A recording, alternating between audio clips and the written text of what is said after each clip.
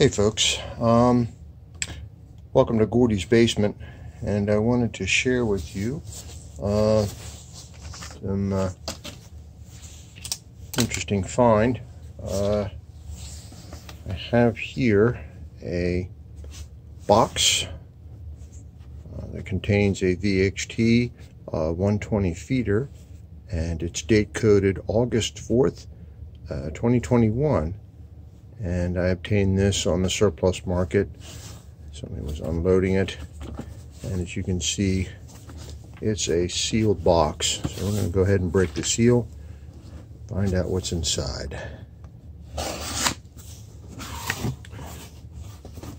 Typical in this box, we'll find the uh, 3 8 uh, male adapter by a half inch sweat fittings and a sealed a baggie, a Ziploc baggie, and this is the 120, uh, 120 volt version of their new style, uh, I guess you'd call it universal mount um,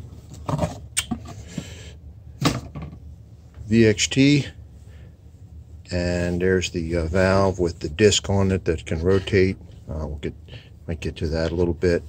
And uh, looks like they've uh, the DEMA, D-E-M-A, uh, is back in their good graces. And this is the DEMA 443P, as in Paul. I'll go ahead and open this one up. And uh, as you, there we are. Go ahead and unloosen these uh,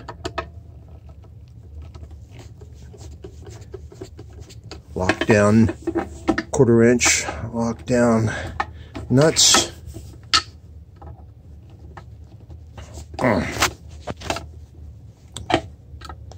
Put them on tight at the factory.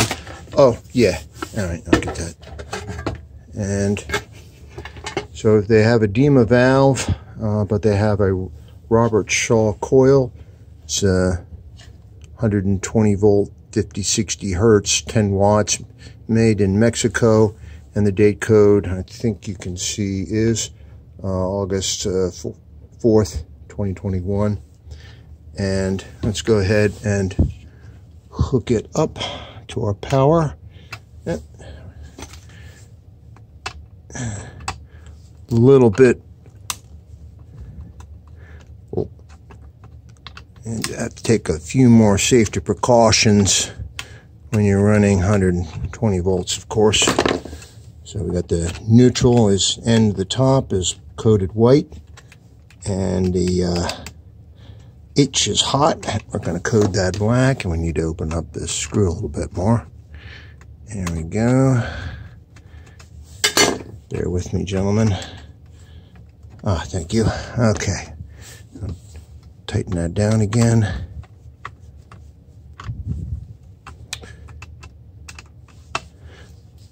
And we'll go ahead and light it up. This one's a nice bit of kit from England.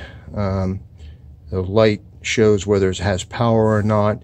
And of course you have the ground, which I have not hooked up, neutral and hot. And these are the tines and there's a fuse there. I'm going to go ahead. I've got another switch downstream, which uh, I'm going to turn on. See the light's glowing. And as soon as I close this, uh, it should energize the VXT. There we go. Six. Well, that's interesting. Usually it's two. Huh.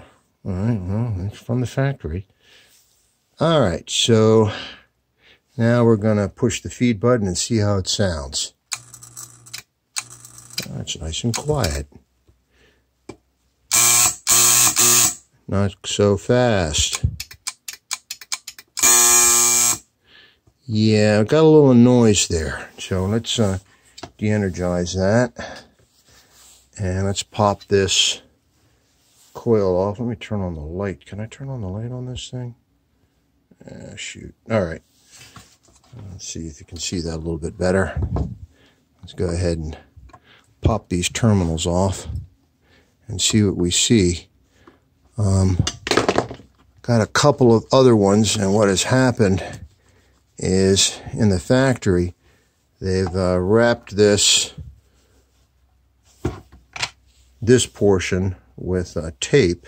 And what has happened is as they push the, the uh, coil uh, on this thing, the tape is bunched up at the bottom. And uh, a couple of others where I've, you can see there, pretty well bunched up. And that's might cause a uh, a noise complaint from folks. So uh, what I've been doing is I've been taking a bit of um, foil that's about one inch in diameter and about inch and three quarters uh, long, and I've been uh, wrapping it around in the uh, on that uh, post there. The uh, got to go around one and maybe a quarter times. Let's see if this works. Yeah, should have work it down on there. And you can't have any bunch up at the bottom. So I usually like to um, put this tab up top because it's the shorter and this longer white rod I like putting back on that tab for some reason. It's just kind of like my little quirk. All right, we're going to energize the, uh, let's see, put this back in there. That's about to come out. And now we're going to, okay, we got it energized. The light goes out. Nice and quiet. Yeah, if you just pull it off just a little bit, it'll buzz. But uh, that'll stay and not uh, not bunched up. So I've removed a couple of them like that. I've opened them up where I've found the uh, tape kind of like bunched at the bottom and these things are a buzzing. So I'm going to go ahead and reset this to zero and de-energize it double double secure there. And gonna go ahead and mark this. Today is 1107 21 and I've checked it and it's ready to go out in the field in the wild. So just to those of you who might be watching this video for the first time um, we've got uh, uh, some Phillips head screws here, which if you loosen them uh, just a little bit, maybe a turn or two, uh, then this is rotatable. So you hold this valve and you just rotate this right on around to any direction you want and make sure that's pushed down all the way. Let's see if I can get a good shot of it. It's got to it's got to go right all the way on the bottom there. Well, it, or it might make noise. And then you uh,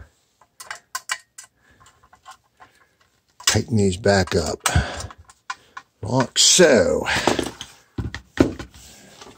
And goes back and the these will go on. I'll just uh, just uh, lightly crank that down, not too hard. A little sticker there says annual maintenance required, which is basically to uh, inside of here, an excellent set of instructions.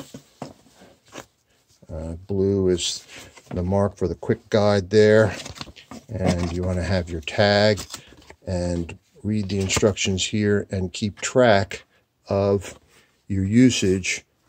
And uh, that will give you good data points for if you're having a problem uh, with leaks in your system which kill boilers. Sort of acts like the canary in the coal mine. So there we are. She's backed up ready to go.